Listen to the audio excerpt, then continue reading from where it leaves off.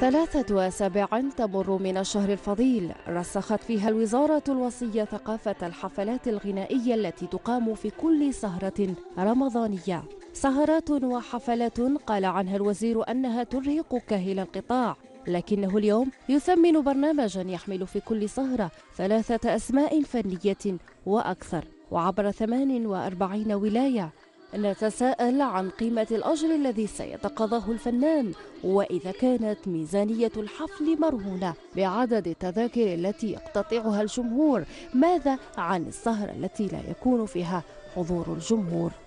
انتهى زمن ميزانيات لشهر رمضان ولا لغيره. الآن كل النشاطات اللي تتم راهي تتم بمقابل المواطن يدفع ويشوف حفل فني ولا يشوف مسرحية ولا يشوف. إذا دخلنا في مرحلة جديدة من عدم آه، الإنفاق المبالغ فيه من أجل نشاطات ثقافية. استراتيجية الأولويات في دعم الأنشطة الثقافية والخواص الذين تعبت الوزارة من دعوة وطلب وإلحاح عليهم.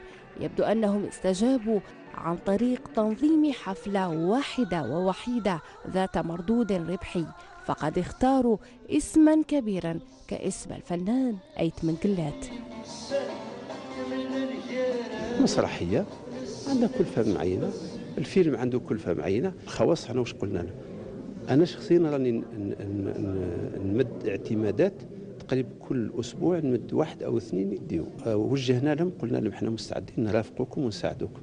إذا يحتاجوا فضاءات قاعات وكذا نعطيو لهم القاعات هذه ونقلوا وفق. عندهم دفتر شروط يحترموه. الدولة تدي حقوقها وهو يدي حقه.